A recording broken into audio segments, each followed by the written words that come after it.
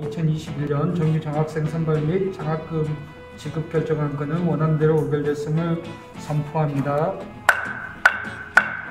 장학생 모집 공고할 때 알아먹기 쉽게 잘 이렇게 해주시고 간단하게 카톡으로 복사해서 야 너도 이거 해봐 너 자격 되든지 한번 한번 너도 한번 알아봐 나 신청할 거야 이렇게 자연스럽게 좀 돌아다닐 수 있는 어, 좀 의미 있는 홍보 좀 부탁드려요.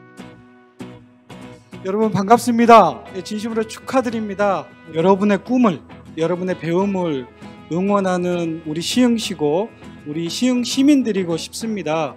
어, 여러분들이 받으시는 장학금의 의미가 금액이 많고 적음을 떠나서 정말 소중한 의미로 여러분들 가슴속에 남기를 바라는 마음으로 이렇게 주모로라도 꼭 만나고 싶었습니다. 여러분들 힘내시고 우리 시흥시에서 살아가는 청소년으로 또 청년으로 앞으로 멋진 삶 꾸려나가시길 진심으로 기원드리고 응원드리겠습니다. 감사합니다. 정규 장학생 장학증서 수여식 시작하겠습니다. 당신은 하나뿐인 삶의 주인공입니다. 꿈을 펼쳐가는 여정에 장학금이 작은 씨앗이 되길 바라며 시흥 시민의 마음을 담아 응원합니다. 네, 진심으로 축하드립니다. 줌뿐만 아니라 이번에 156명의 장학생분들 진심으로 축하드립니다.